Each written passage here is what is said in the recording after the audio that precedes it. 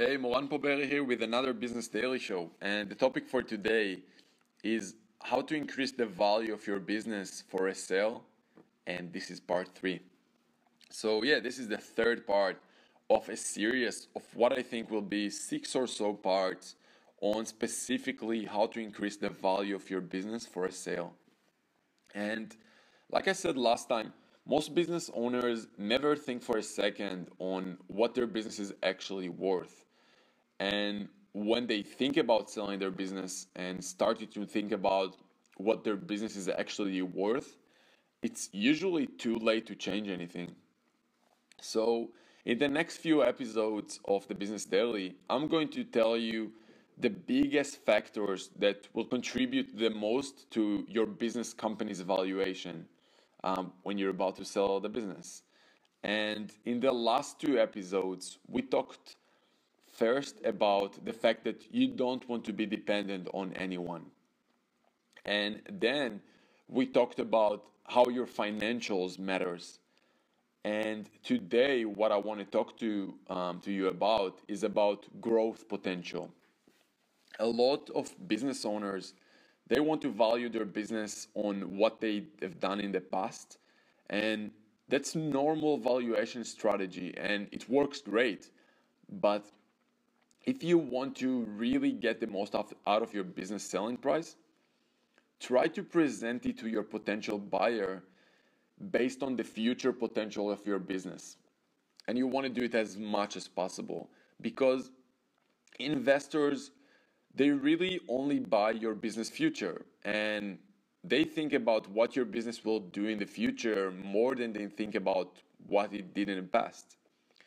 I mean, it's really good for you to know um, where they come from and what they're thinking about.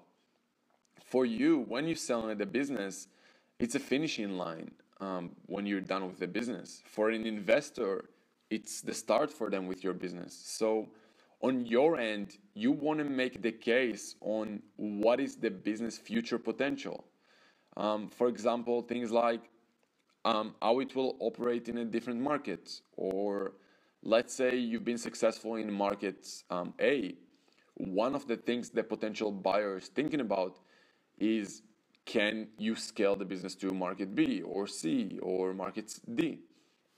Or things like uh, cross selling opportunities, or basically any way that you could scale the business up. I mean, if you know how to answer those questions to a potential buyer, you could ask much more for your selling price.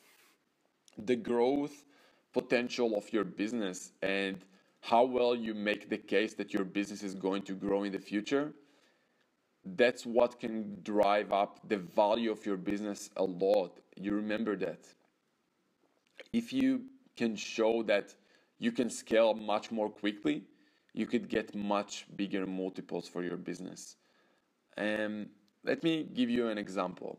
Um, if you had, let me ask you this if you had 10 times more demand for your products or services, let's say you woke up tomorrow in the morning and you had 10 times more customers to serve, how easy or difficult would you be able to handle that demand? And if your answer is that it's impossible, it's really hard to get larger multiples than a company that will answer that it will be very easy to do that. And I'm, I'm talking almost double of multiples that you can get for your business just based on that response. So, the more you can demonstrate to a potential buyer that your business has the potential to grow, the more valuable it's going to be. And that's how companies like Uber, for example, got crazy valuation. Um, that's mostly because of its growth rate potential. I mean, as a result of the, their quick growth, they got valuation of more than $50 billion. And that's for a company that revenues are in the 400 or 500 million dollars only. It is crazy revenue multiples that they got all based on their growth potential their investors they buy the growth potential that Uber are selling them.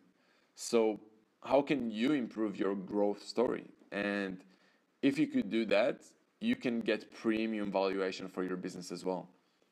So, my question for you for today is what you're going to do today. I mean, how you're going to demonstrate to a potential buyer that you have no growth limits. And if you could do that, believe me, you'll get more for your business. That's all I got for you for today, guys. Let me know what you think. Leave a review, um, comment, ask me your questions, and go to moranpober.com slash daily if you want to get daily updates every time that I put um, a new tip out there. And I'll send you also daily notes and tips and more things that you can use to grow your business. Also, if your business is in trouble or you want to sell it for whatever reason, then I'm looking to buy businesses to my portfolio. So go to moranpober.com and get in touch with my team. That's all I got for you for today. Have a great rest of your day, and I'll see you tomorrow.